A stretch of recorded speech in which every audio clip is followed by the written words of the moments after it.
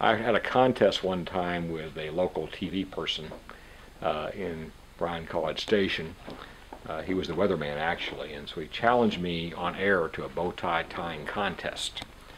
And just as we began to tie our ties, he said, "Wait, let me, let me stop a minute here, and do the following. I want to blindfold us, make it interesting." So no problem. Put a blindfold on, and of course I couldn't see anymore.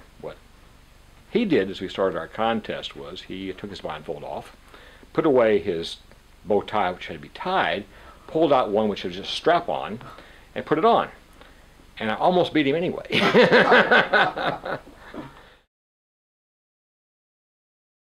price you pay, if you want to call it a price, uh, is that there is little privacy. But the benefit is you continue to engage with what makes this place go. My interest is in the student body primarily, and uh, they're here. I should be here. A common occurrence to me is the doorbell rings at 10:30 at night.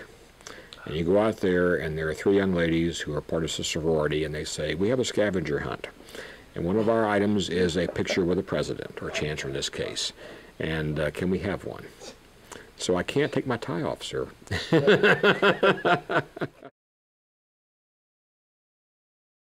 Missouri's different than A&M, uh, different than the campus I did before that, but not that different. Students here today at this university are very much like the ones I dealt with before. Uh, intelligent, service-focused, very energetic, and want to impact and change the world.